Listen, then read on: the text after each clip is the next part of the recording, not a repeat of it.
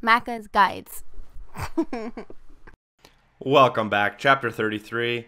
Uh, one only one collectible here. It's a voxophone, but basically you will come to this section, clear out quite a few enemies if you do get spotted, and then you're gonna want to turn around and go into the elevator, and you will find a voxophone lying on the ground. Then you can press the button and go up using elevator, triggering the next chapter. Thanks for watching, guys. I'll see you hopefully in the next chapter to collect some more collectibles.